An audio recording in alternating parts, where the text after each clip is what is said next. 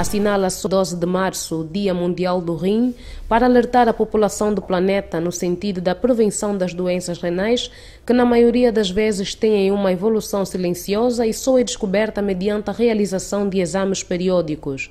A efeméride, instituída pela Organização Mundial da Saúde e comemorada anualmente na segunda quinta-feira do mês de março, tem ainda como objetivo alertar a população com relação à adoção de hábitos saudáveis, ingestão de água, mudança de estilo de vida e autocuidado das doenças crônicas não transmissíveis, como a hipertensão arterial sistêmica, diabetes mellitus e obesidade.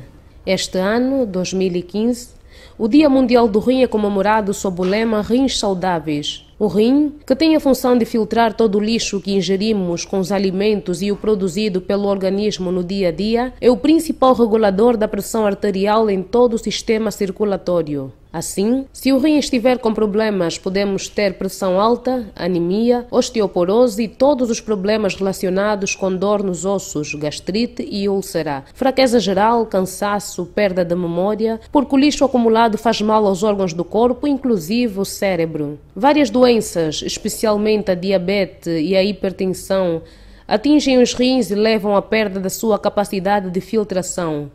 Os rins têm inúmeras funções, entre as principais a de filtrar o sangue de impurezas geradas pelo corpo e também a de manter a quantidade de água e sal necessária para manter a hidratação normal e a pressão arterial. Muitas doenças atingem os rins e diminuem a sua capacidade de filtrar o sangue. Nas doenças renais avançadas, em que a filtração renal está abaixo de 10% do normal, a concentração de impurezas no sangue fica muito alta e, se o sangue não for filtrado artificialmente ou por um rim transplantado, o paciente morre. Vamos todos manter os rins saudáveis.